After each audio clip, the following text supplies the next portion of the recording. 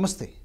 సరిహద్దుల్లో తాటాకు చప్పుళ్ళు చేస్తున్న చైనా మెడలు వంచేందుకు భారత్ ఒడివడిగా అడుగులు వేస్తోంది. ఇప్పటికే మంచుకొండల్లో సైన్యాన్ని ఆయుధాలను మోహరించి యుద్ధానికి సర్వసన్నద్ధంగా ఉన్న భారత్ క్షిపణి వ్యవస్థలను కూడా బలోపేతం చేసుకుంటోంది. మొన్నటికి మొన్న నిర్భయ్ బ్రహ్మోస్ క్షిపణుల్ని పరీక్షించిన డిఆర్డీఓ తాజాగా మరో అత్యాధునిక క్షిపణిని సక్సెస్ఫుల్గా టెస్ట్ చేసింది.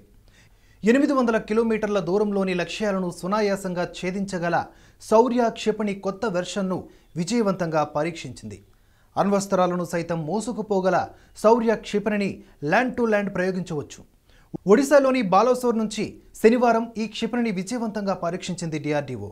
ఈ క్షిపణి పరీక్షతో భారత రక్షణ రంగం మరింత బలోపేతమైంది. నిజానికి శౌర్య క్షిపణి పరీక్ష గతంలోనే చేపట్టగా తాజాగా దానిని ఆధునీకరించి కొత్త వెర్షన్ను పరీక్షించారు. అత్యంత తేలికపాటి రకమైన ఈ క్షిపణిని ఎంతో సులువుగా ప్రయోగించవచ్చని శాస్త్రవేత్తలు చెబుతున్నారు.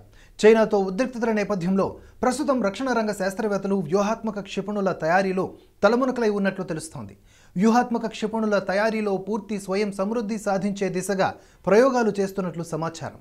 ప్రధానమంత్రి నరేంద్ర మోదీ పిలుపు మేరకు ఆత్మనిర్భర్ భారత్ స్ఫూర్తితో ఈ విషయంలో శాస్త్రవేత్తలు ఒడివడిగా అడుగులు వేస్తున్నారు. ఇటీవలే బ్రహ్మోస్ సూపర్సోనిక్ క్షిపణిని డిఆర్డీఓ విజయవంతంగా పరీక్షించింది. ఒడిశాలోని చాందీపూర్ రేంజ్ నుంచి ప్రయోగం జరిగింది. ఈ క్షిపణి నాలుగు వందల కిలోమీటర్ల దూరంలోని లక్ష్యాలను విజయవంతంగా ఛేదించగలదు.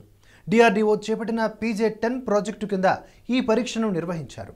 దేశీయంగా రూపొందించిన బూస్టర్తో బ్రహ్మోస్ క్షిపణిని లాంచ్ చేశారు.